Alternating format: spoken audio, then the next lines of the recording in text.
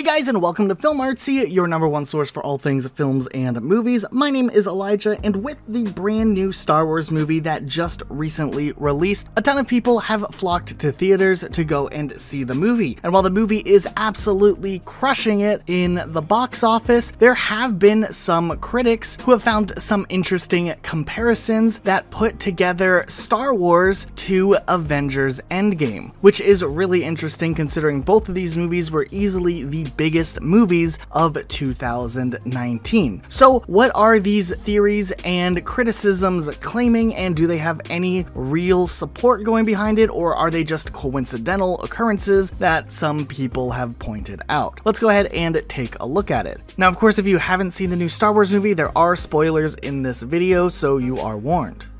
Now, pretty much most of the criticism around the new Star Wars movie mostly comes from the pacing throughout the movie. I don't know, we at Film Artsy really enjoyed the movie, but we do understand the criticisms that some people have brought up. Specifically, when you look at the last arc of the film, the third act, there are a lot of really similar comparisons that can be drawn from the events that happen at the end of Avengers Endgame. Specifically, the part where they're in the ships fighting, and Poe was counting on reinforcements to come, and at the last moment, all of these reinforcements just show up out of nowhere, similar to how in Avengers Endgame, we see a similar situation with Captain America after he loses a one-on-one fight to Thanos, then the portals open and everyone, a ton of people, come flocking in all at once. So there's one similarity there. We have another similarity where we see the standoff with Rey, Palpatine, and Ben. And honestly, there's a moment that almost feels like we're expecting expecting Rey just to drop the I am Iron Man line similar to Avengers Endgame when she talks about having all of the previous Jedi living in her or how she is all of the previous Jedi. And then we could also argue that there's this final moment where Ben has his redeeming moment where he essentially trades his life for the life of someone else, similar to how Tony Stark did that, to save all of the unsnapped people at the end of Avengers Endgame. Now, obviously, there's probably a ton of coincidence going on, especially because because these movies were all in writing and production phases at separate times. Also, there probably isn't enough time for someone who's writing a Star Wars movie to go and steal a ton of ideas from a movie that's also being released that same year. So we do want to go ahead and say it's most likely coincidental, but it is kind of interesting to see that these two massive movies that are kind of the bookends for their respective series also had a lot of very similar themes. Now you could go and argue that typically when there's some grand finale, the themes of scale and sacrifice are usually typical for movies like this, so we can see any argument and how it is presented. But now we wanted to turn around to you guys. Do you guys think that Star Wars ripped off Avengers Endgame, or do you think it's mostly coincidental and they each were done in respective ways? Let us know what you think in the comments down below. Be sure to subscribe with notifications on though for more videos just like this, and we'll see you all next time with a brand new video. Bye guys.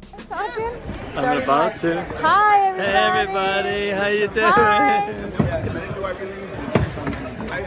Hi, hi, hi, hi. Mwah, mwah, mwah. I don't See you guys. know anybody.